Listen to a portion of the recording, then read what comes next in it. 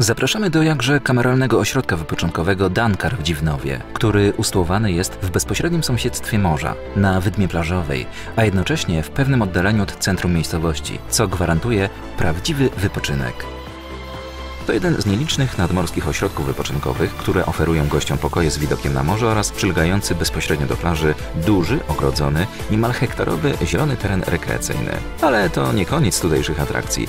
Są tutaj także piękny ogród z oczkami wodnymi, kort tenisowy, boisko wielofunkcyjne ze sztuczną nawierzchnią, o placu zabaw i miejscu na grilla już nie wspominając.